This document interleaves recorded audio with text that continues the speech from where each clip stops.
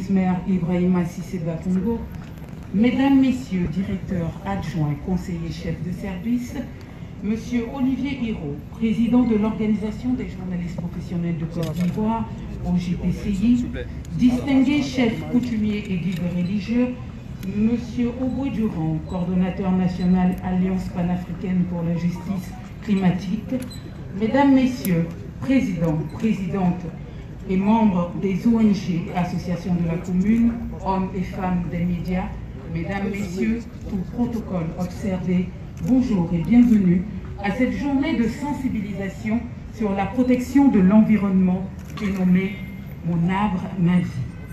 Allocution, interview, planting sont les différentes articulations de cette sympathique cérémonie sur la 48e journée mondiale de l'environnement célébrée à Koumassi, la commune coquette. Sans plus tarder, nous nous tournerons donc vers l'honorable Sangari Yakuba pour le mot de bienvenue. Sous vos orations, s'il vous plaît.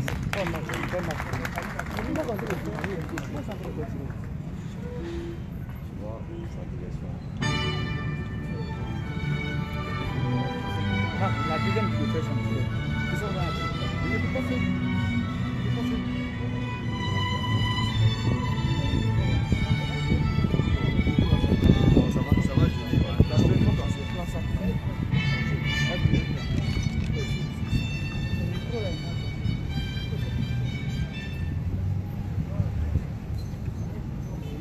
Monsieur le ministre Alain Richard Dovaille, ministre des Eaux et Forêts,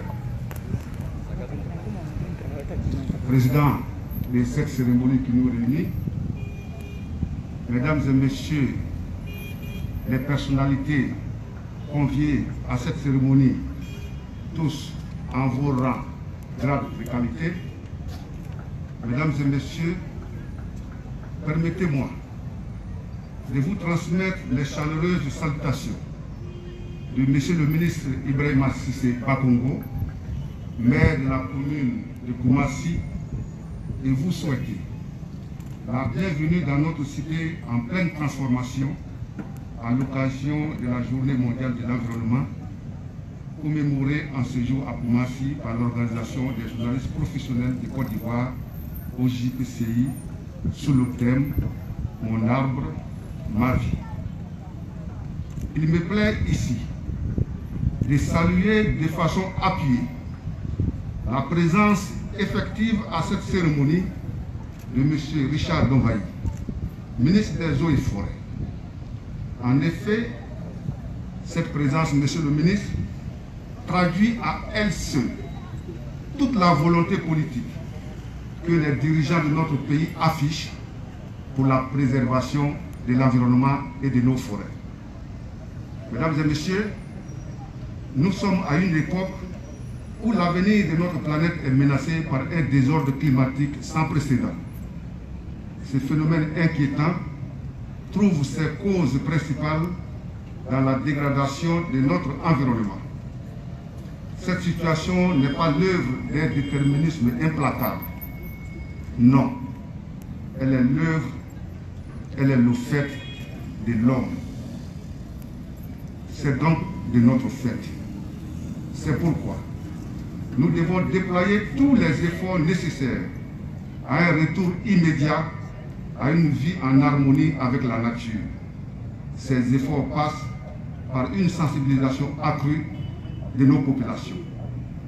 Ainsi, la célébration de cette journée permet de développer les bases nécessaires pour éclairer l'opinion publique et donner aux citoyens, aux entreprises et aux collectivités le sens de leurs responsabilités quant à la protection et à l'amélioration de l'environnement.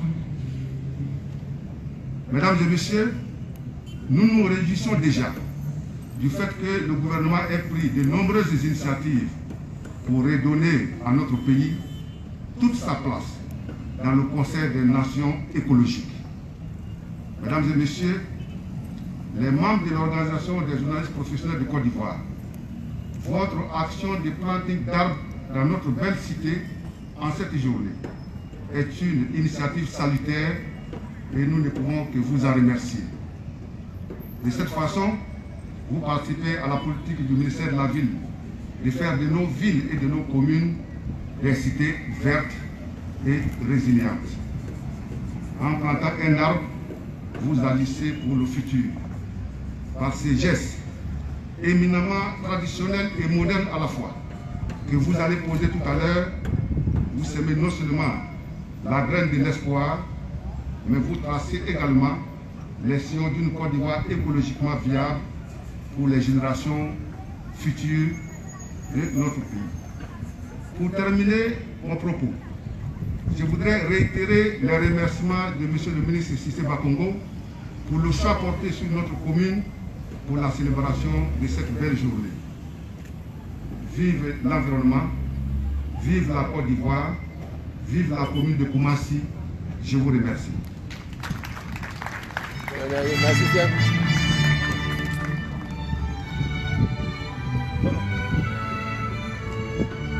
Ovation donc pour l'honorable Sangaré Yakuba, représentant le ministre-maire Ibrahima Sissé Congo. À présent, recevons donc le président de l'OJPCI, M. Olivier Hiro, sous vos ovations, s'il vous plaît.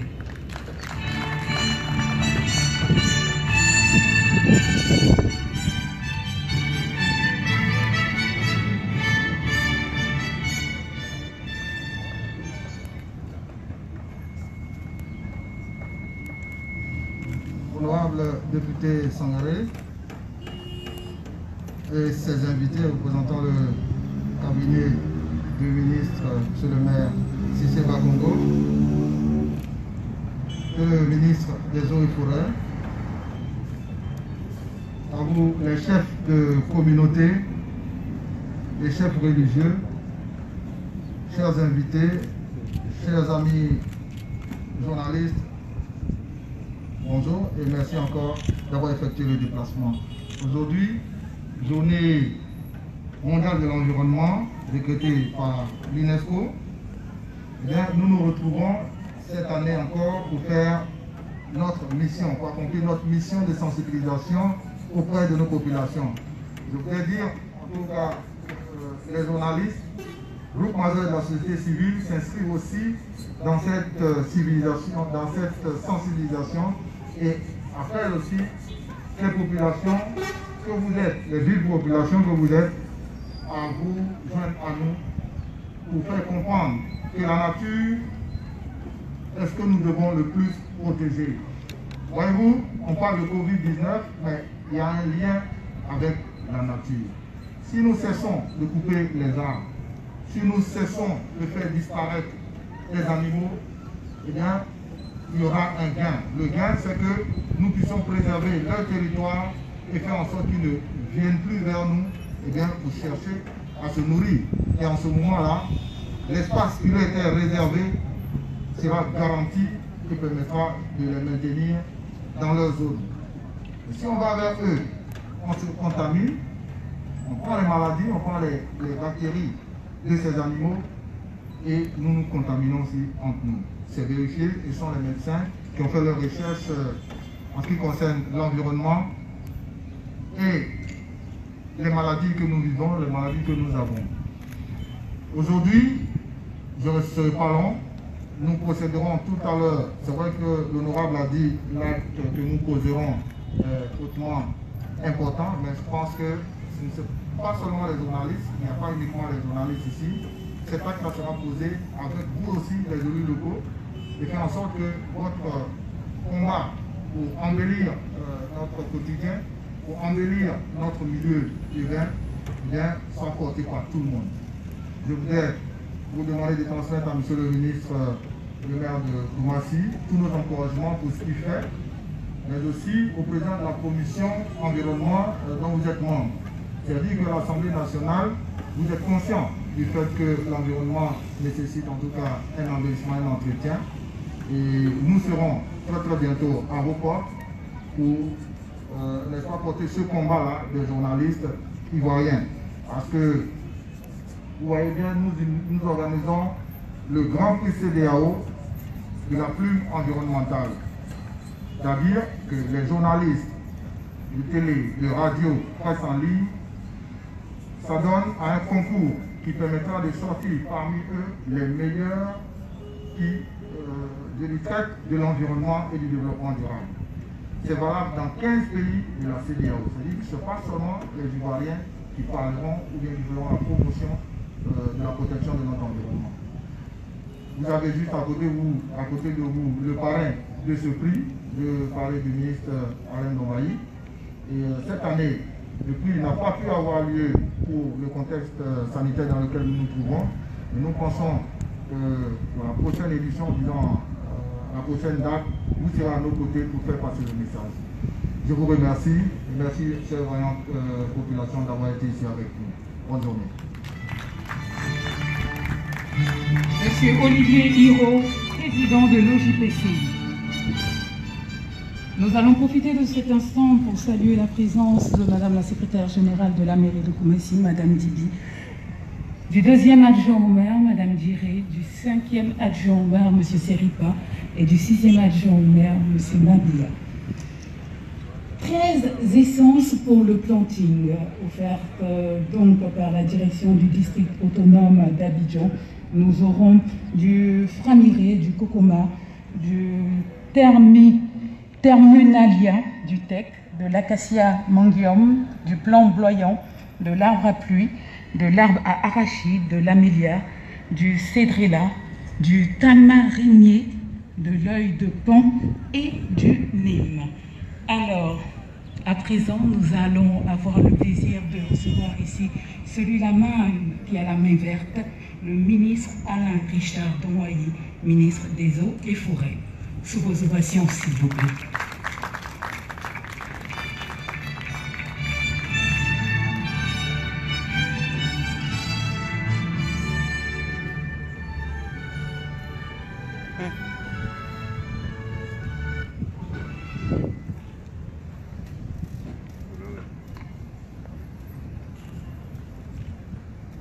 La distanciation est respectée.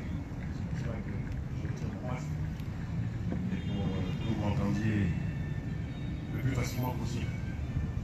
Je voudrais remercier l'honorable député représentant le ministre, si c'est pas mon maire de la commune de Koumassi, et tous les adjoints ici présents de la commune de Koumassi, qui nous reçoivent aujourd'hui et surtout Monsieur le, ministre qui a accepté de parrainer euh, cette cérémonie. Je suis heureux de me retrouver ici à Koumassi ce matin pour euh, une cérémonie hautement importante pour mon département des eaux et forêts qui a été organisée fort heureusement par euh, l'organisation des journalistes professionnels de Côte d'Ivoire je félicite également Olivier pour euh, avoir euh, décidé de le faire aujourd'hui. Je voudrais saluer les vaillantes populations de Koumassi, les chefs traditionnels, les chefs euh, et guides religieux, ces populations, mesdames, et aussi l'organisation des journalistes représentés ici ce matin pour cette cérémonie.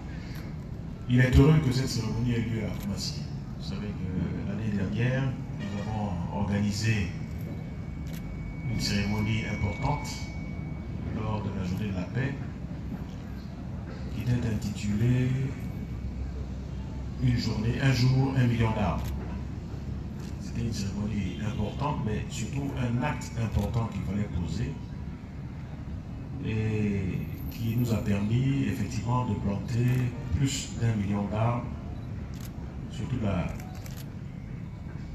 euh, la Côte d'Ivoire, je dirais, l'ensemble des régions, en un jour.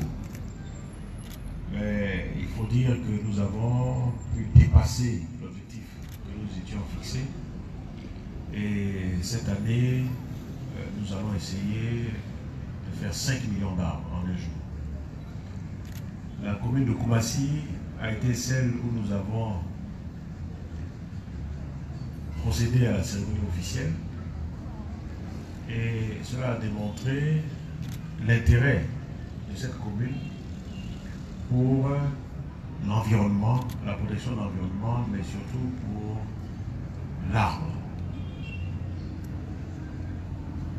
Effectivement, l'arbre, c'est la vie. Que vous avez choisi le dit bien, il est important que chacun le sache. Pour certains d'entre nous qui étaient très jeunes dans les années 60, nous nous souvenons d'Abidjan, ville verte. Il y avait des arbres partout, le long des voies, dans les quartiers. À la place des murs de clôture des villas, c'était des haies vives, d'hibiscus, de roucouillés. Il y avait des arbres partout. Il y avait de l'ombre partout. Il faisait moins chaud. L'air était plus pur. Il y avait certainement moins de maladies respiratoires. Et on vivait bien Abidjan. Au fur et à mesure de la croissance démographique, de l'extension de la ville d'Abidjan, de l'urbanisation de cet espace, nous avons vu les arbres se raréfier. Les arbres ont été coupés, les arbres centenaires parfois qui sont coupés, et ces quartiers ont été remplacés par des bâtiments, des immeubles, des murs de clôture qui se sont élevés. Et malheureusement, dans la plupart des nouveaux quartiers, nous avons oublié de planter des arbres.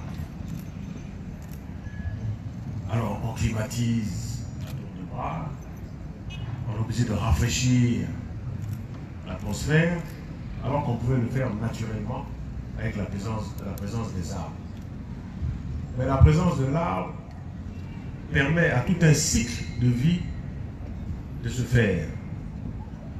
Donc à tout un climat de se préserver.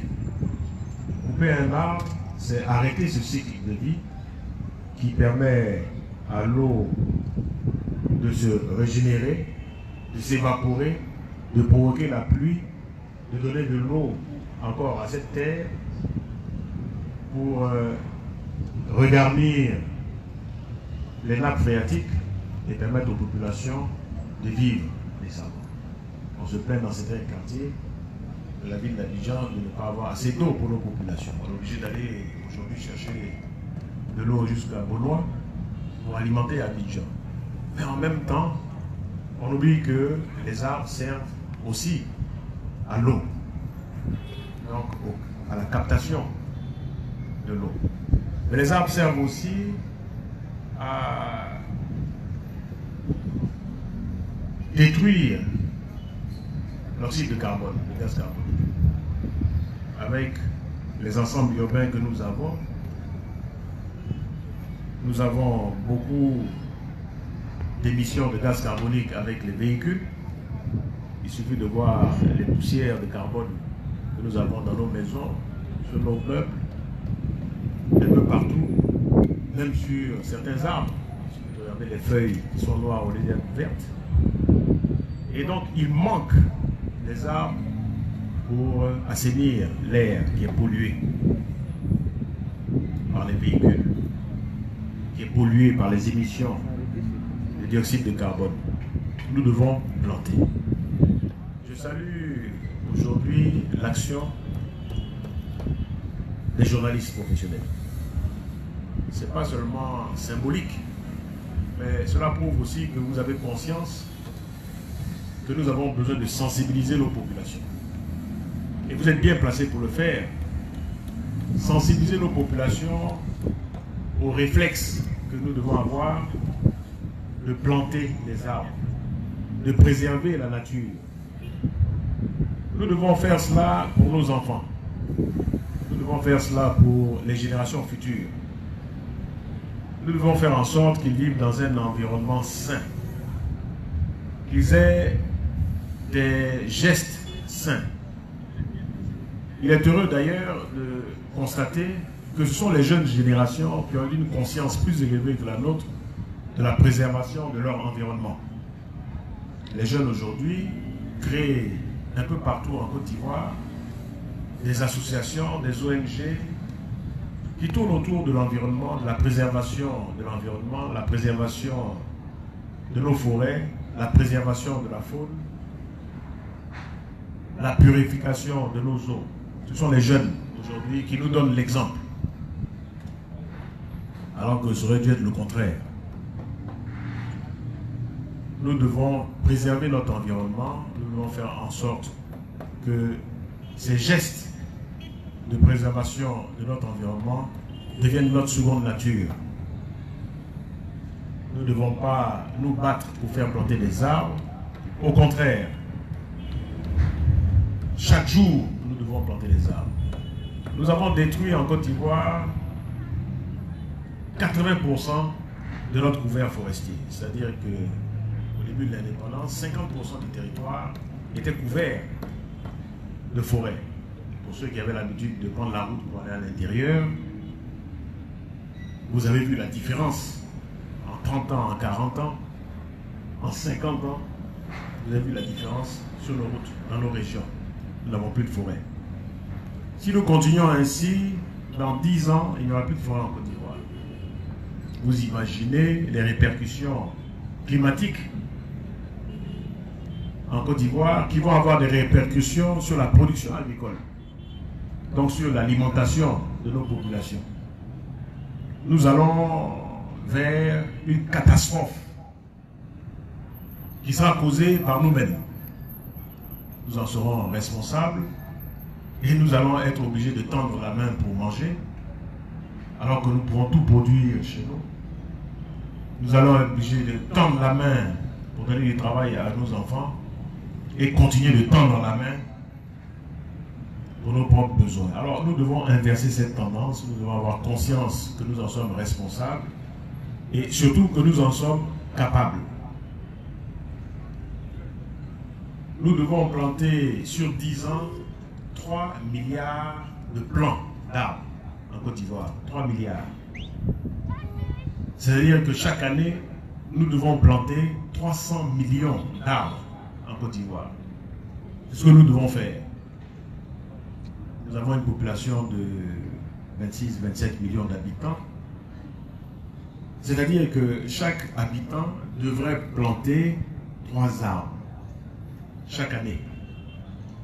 Ça doit être notre objectif.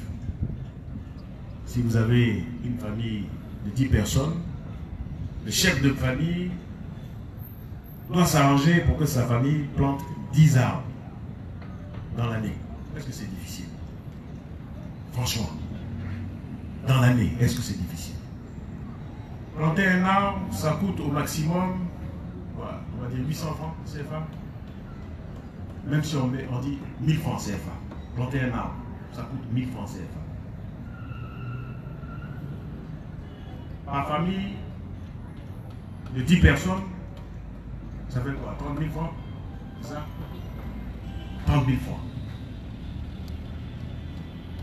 30 000 francs, ça fait un peu moins de 3 000 francs, disons 2500 francs par mois.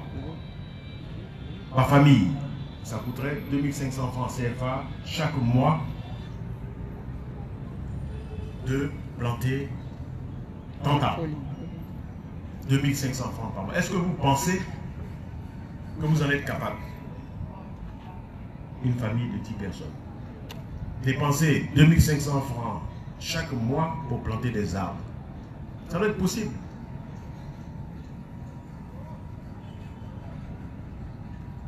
Monsieur le député,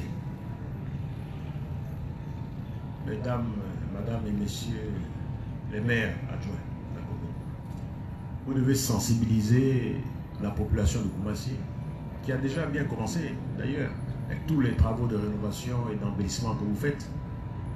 Vous devez sensibiliser la population de Koumassi, chaque famille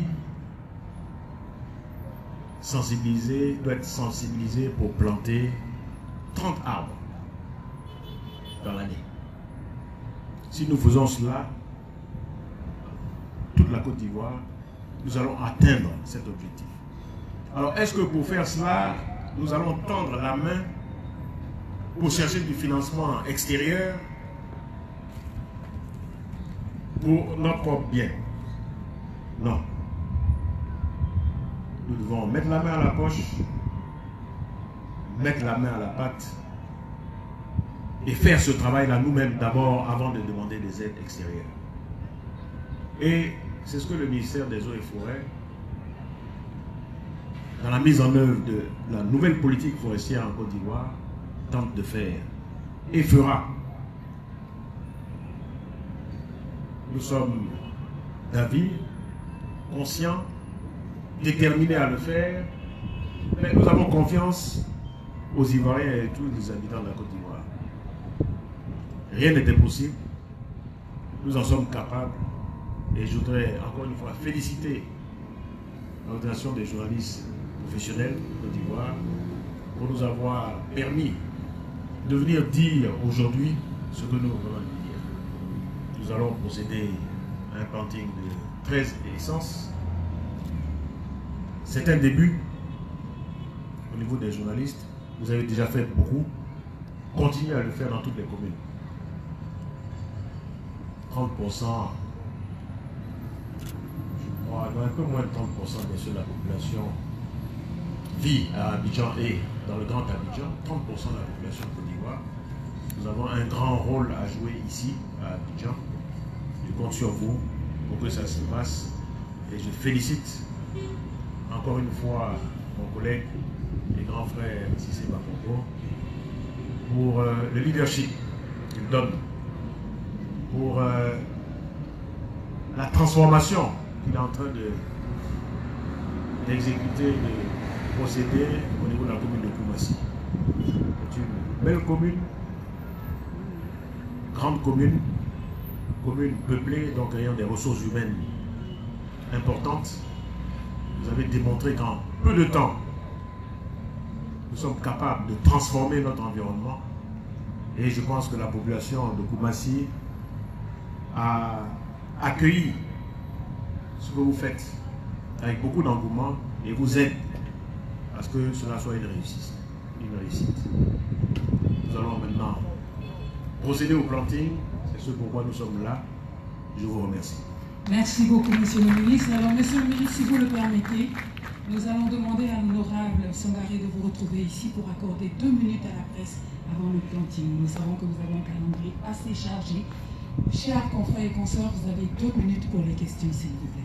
Assez rapidement, si vous avez des questions, parce qu'après, nous procédons au planting et le ministre ira à une autre cérémonie. Pas de questions? Avancez, s'il vous plaît. Vous avez deux minutes assez rapidement. On le fait assez rapidement, s'il vous plaît. On respecte la distance.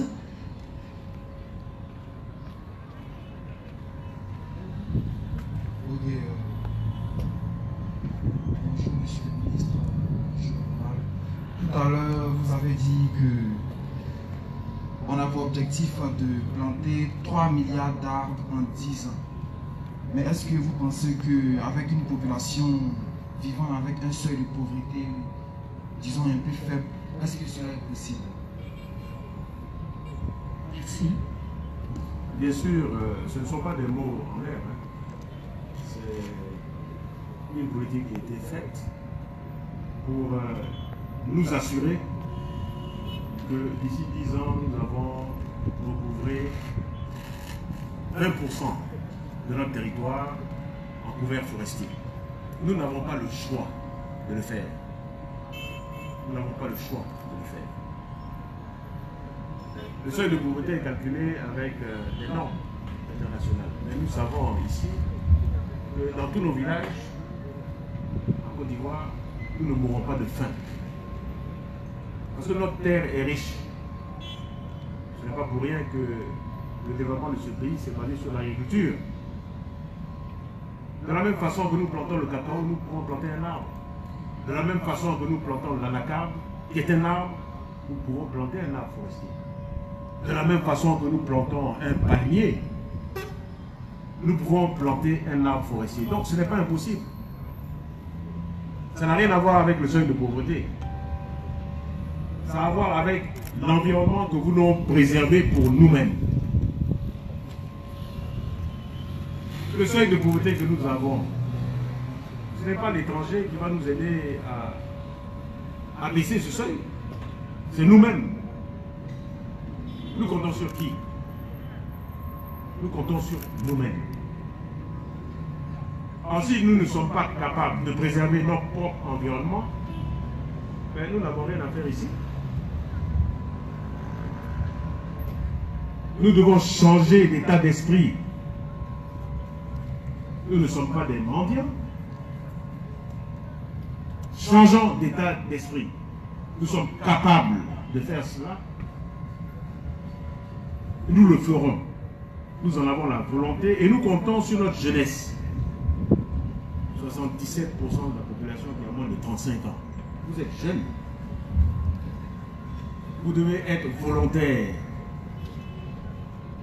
Vous devez avoir confiance en vous-même et vous devez être capable de transformer ce pays. Ayez confiance. Nous, nous avons confiance. Donc ne vous inquiétez pas, nous allons planter ces 3 milliards d'arbres en 10 ans en Côte d'Ivoire. Merci. Et cela s'applaudit s'il vous plaît. Plus de questions. Nous passons immédiatement au planting. Nous allons aller de l'autre côté s'il vous plaît. Nous invitons les chefs coutumiers à vivre cet événement. Les chefs religieux, les guides religieux, aux autorités municipales s'il vous plaît.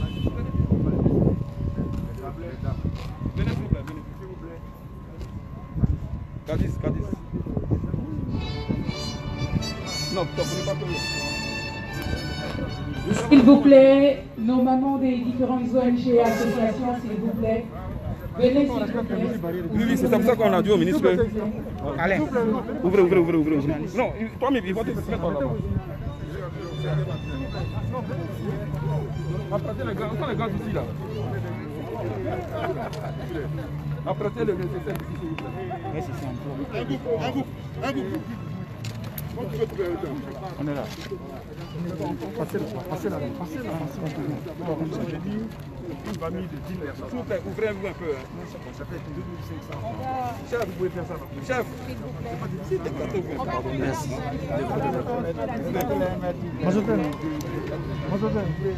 Honorable, venez Venez, je travaille ici, madame. Honorable, venez Mettez-vous parce que là, Mais, toujours les mais tout le- monde est là. Les chefs. Après, venez ici. Venez là. Vous êtes dans le bureau. Oui, oui, plante ici. Oui, c'est lui qui plante ici. Vous plantez après lui. Est juste passé. Juste passé. Pardon. La mesure de la. Ah, pas profond. Le trou n'est pas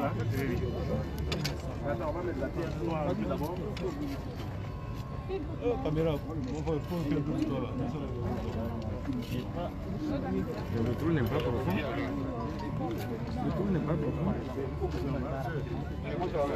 Distanciation sociale. Il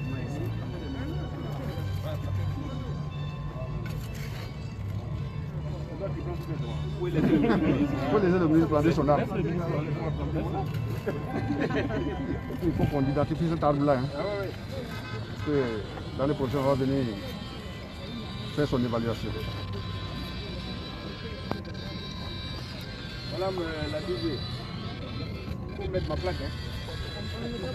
Voilà. Justement, c'est très agréable. Qui, va arroser l'arbre On va trouver un volontaire pour arroser cet arbre ici. Il y a une ligne. Ah d'accord, tant mieux. Je. Hein. Averti. Hein. On est averti. On va prendre soin de votre monsieur le ministre. J'ai donné le même dans le. Ah bon, oui. à l'ambassade, je suis parti. Alors, faut depuis Côte d'Ivoire. Voilà.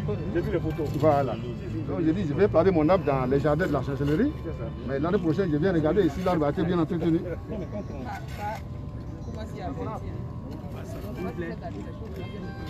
Comment. Nous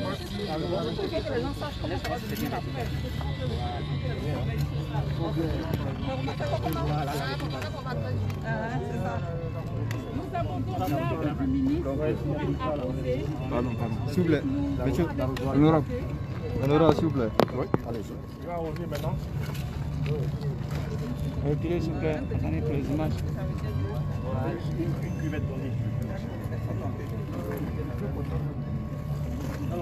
Ça s'applaudit s'il vous plaît.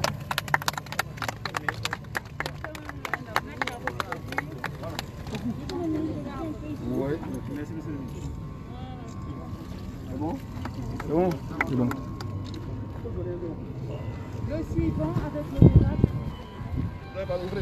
Pardon. Envoyez la trière. La trière, s'il vous plaît, voilà. Marc. Et puis. Marc, tu arrêtes.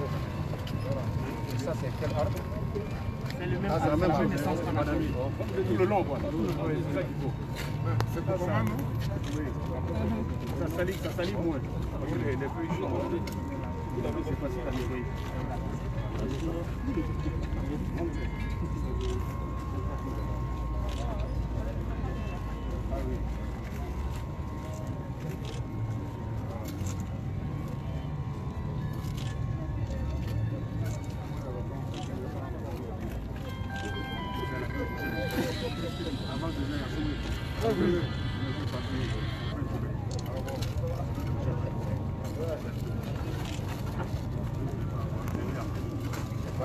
S'assurer que c'est bien vertical, s'assurer que c'est bien vertical. C'est bon quand tu laisses, ça peut tenir. Voilà. Président. Voilà, maintenant il faut surveiller la cuvette. Autour du volet, là, ce n'est qu'un peu plus profond. Voilà.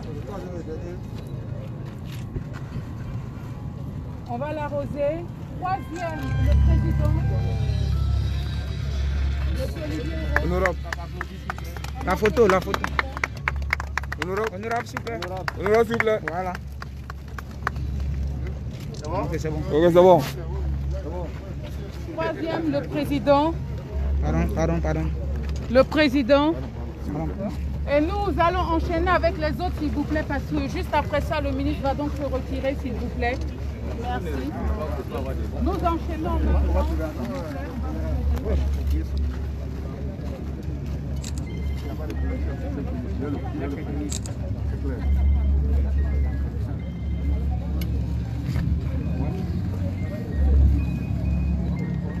Président, c'est votre arbre, hein? c'est vous qui devez attraper pour. Président. Monsieur le maire, Vous avez un arbre, vous avez un arbre à planter Vous avez un arbre à planter là-bas, un arbre. Pour l'humanité. Non, le maire, c'est quoi Vous avez un arbre. Vous avez un arbre.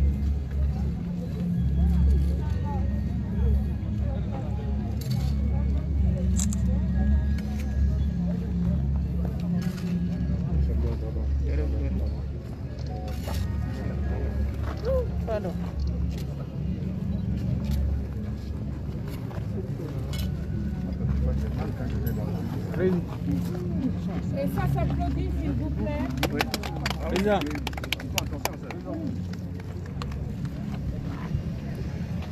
Merci beaucoup. Merci beaucoup.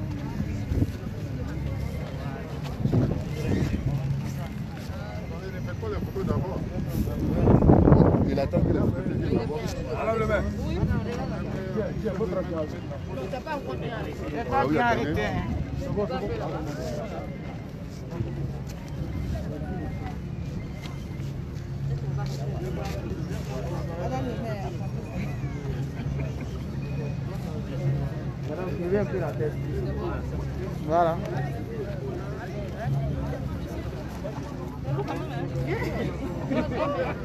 léger là.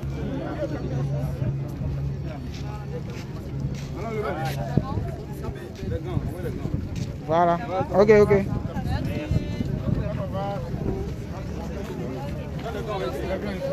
gars, c'est d'abord.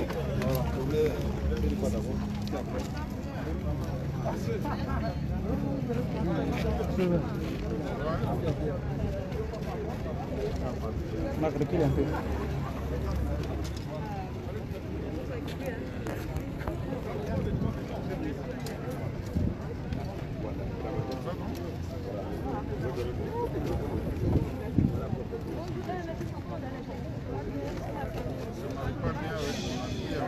Après, venez par ici. Hein. C'est pas normal. C'est comme euh, Robles avec les doigts et puis le privé, le blanc. C'est pas possible. Je suis pas d'accord avec ça? Ils ont trop déconné. Ils ont trop déconné. Mettons l'enfant habité au jeton, non Pour mettre en cas il ne va pas habiter à ça.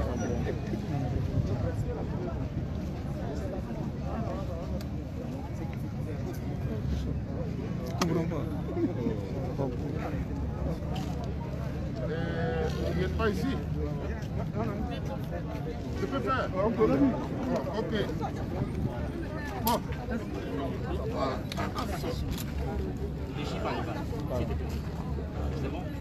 Voilà. Voilà. Ça et ça Voilà.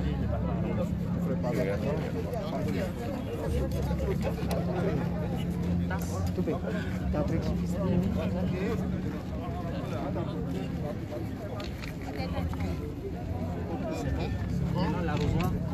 c'est là, c'est là. Monsieur le maire, Oui levez la tête. Ouais, c'est bon. Bon. C'est bon C'est bon.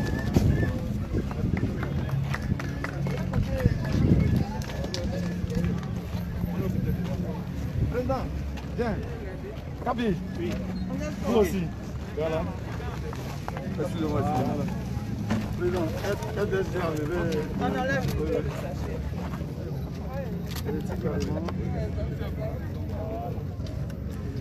bien déchiré. Voilà. Et puis, que ce soit bien vertical, bien vertical. Et puis, Tenez, levez un peu de Dieu pour la photo. Voilà, merci. Merci, Ça va. Faut faire son ancien jeu.